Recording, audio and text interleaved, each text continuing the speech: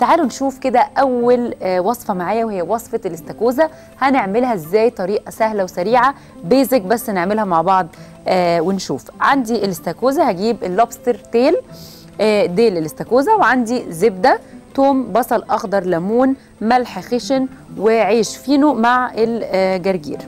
أول حاجة هعملها إن أنا هيكون عندي مية مية بتغلي. كده هنحط مية. وإيه؟ هحط رشه ملح فيها. أهو. أهو زي ما إحنا شايفين. بالراحة. بإيه؟ بخش. كده.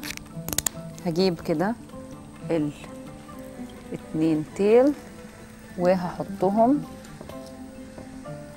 يغلوا في المية. وهغطي عليهم. على بقى ما إيه؟ ما يعملوا.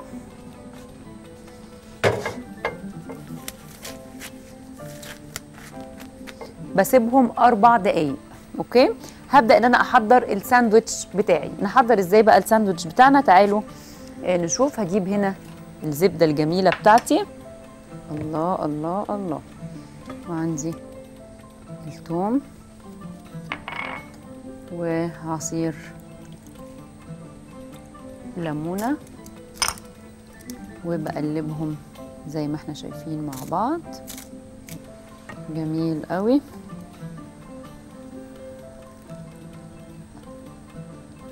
هجيب كده الطبق وإيه هنطلع عليه الاستاكوزا بتاعتنا. بصوا جمالها. جاهزة؟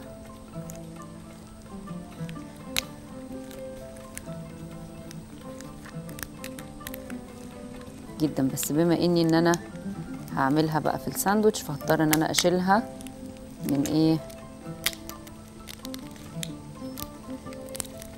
من القشرة خالص. جميل قوي قوي قوي وهبدأ إن أنا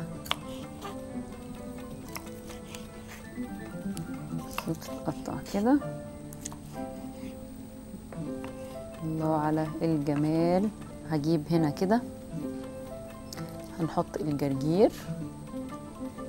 بصوا بقى عصيان الجرجير. كده. وهجيب هنا الاستاكوزا بتاعتي. كده. وهنجيب بقى الزبدة بتاعتنا اللي إحنا عاملينها. زبدة بالثوم. بصوا الجمال. بصوا الساندوتش وجماله وحلاوته.